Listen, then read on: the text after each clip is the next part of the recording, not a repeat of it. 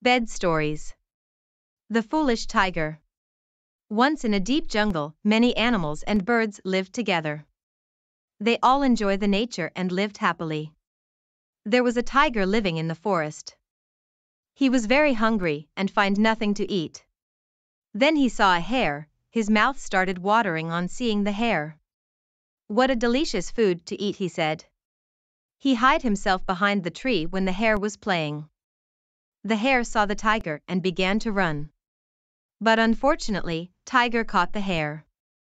The hare was trembling and closed his eyes in fear.